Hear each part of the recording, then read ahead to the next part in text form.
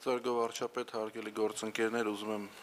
այս թեմայից դուրս զեկուցեմ երեկվա էլեկտրոէներգիայի հետ կապված խնդիրները, որ առաջացան, հանրության շրջանում մեծ հետաքրքրություն առաջացել մեր կողմից, իմ կողմից հանձնարարություն է տրվել, որպիսի իր նյութեր նախապատրաստվեն երեկվա էլեկտրոէներգիայի տատանումների հետ կապված եւ անջատումների հետ կապված, որպիսի հստակ բարձվի պատճառները էլեկտրոէներգիայի այդ էներգետիկ համակարգի խափանման պատճառները, չնայած նախնական տվյալները կան, բայց ես կարծում եմ, որ պետք է խոր ուսումնասիրություն իրականացվի, հետաքննություն իրականացվի եւ գնահատական տրվի, թե միտում եղել է չի եղել կան մեղավորներ ցուցաբերվել է անգործություն թե ոչ, արդյունքների մասին կզեկուցեմ։ Շատ լավ, ես գիտեմ, որ տարածքային կառավարման եւ ենթակառուցվածքների նախարար նույնպես ծառայական քննություն է նշանակել հասկանալու համար պատճառները,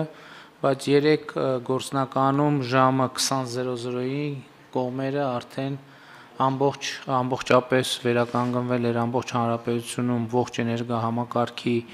գործունեությունը եւ ես ուզում եմ այս կապակցությամբ երեկվա դեպքի համատեքստում շնորհակալություն հայտնել Իրանի Իսլամական Հանրապետության եւ Վրաստանի մեր գործընկերներին, ովքեր այդ իրավիճակում շատ օպերատիվ աջակցություն ցուցաբերեցին եւ եւ հնարավոր եղավ խուսափել այնպիսի հետևանքներից, երբ որ էներգետիկ համակարգը ինչ որ երկարատև կոլապսի առաջ կանգնել Իմիջայլոց վերջերս մենք երբ որ մի ներդրումային ծրագիր ենք քննարկում աշխատանքային կարգով եւ քննարկում ենք այդ փոխարկիչի հետ կապված խնդիրը, հենց մասնագետները նման իրավիճակ նկարագրում էին, որ փոխարկիչը ինչ որ առումով կարող է ապահովագրել նման իրավիճակներից, որոնք էներգետիկ համակարգում լինում են, այնպես որ պրակտիկ առումով այդ քննարկման ժամանակ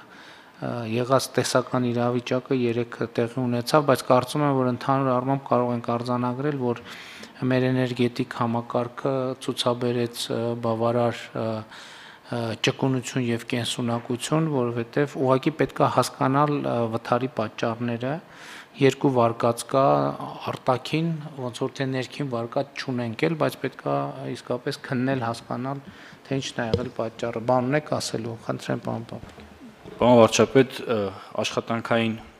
այցով ես Բելարուսիայի Հանրապետությունում էի, վերադառնալուն պես խորհրդակցություն եմ հրավիրել եւ կառավարության նիստից անմիջապես առաջ ստեղծվել է աշխատանքային խումբ, որը գլխավորի փողնախարար Հակոբ Վարդանյանը հասկանալու համար, թե իրական պատճառները որոնք են եղել, մի քանի օրվա ընթացքում པարս կլինի, ես ձեզ մանրամասն կզեկուցեմ։